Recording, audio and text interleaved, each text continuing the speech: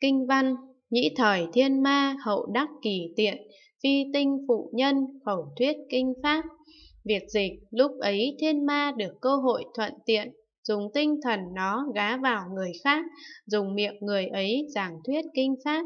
Giảng, lúc ấy thiên ma được cơ hội thuận tiện, dùng tinh thần nó gá vào người khác, dùng miệng người ấy giảng thuyết kinh pháp. Thiên ma thấy được cơ hội thuận tiện, vậy nên nó phóng tinh thần nhanh chóng chiếm đoạt người ấy và dùng miệng người ấy để giảng nói kinh pháp. Kinh văn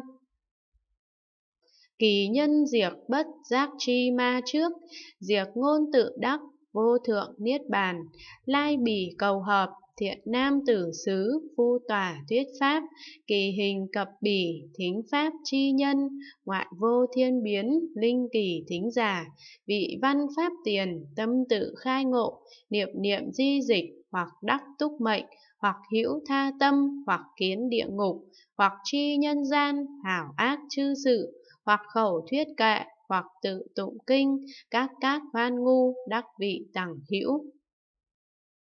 Việt dịch, người ấy thật không biết bị ma gá vào, lại tự cho rằng mình đã chứng được vô thượng niết bàn.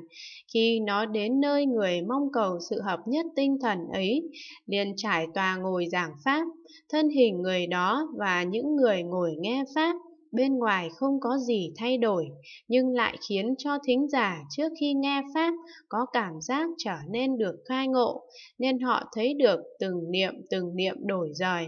hoặc họ được túc mạng thông, hoặc có tha tâm thông, hoặc thấy địa ngục, hoặc biết được những việc tốt xấu trong cõi người, hoặc nói kệ tụng kinh, mọi người đều vui vẻ, như được việc chưa từng có. Giảng Người bị gá ấy thật không biết bị ma gá vào, lại tự cho rằng mình đã chứng được diệu quả vô thượng niết bàn. Khi nó đến nơi người mong cầu sự hợp nhất tinh thần ấy, liền trải pháp tòa, bước lên rồi ngồi giảng pháp thân hình người đó và những người nghe Pháp bề ngoài thì không có gì thay đổi. Thân tướng của nó cùng với những người nghe Pháp không có gì biến đổi, không có gì xảy ra phía bên ngoài thân xác của họ.